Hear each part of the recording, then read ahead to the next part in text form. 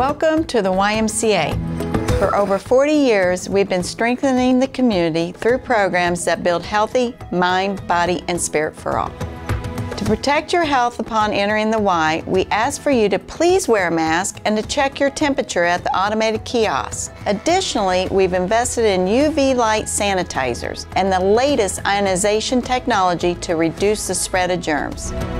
For more information, please call or visit our website.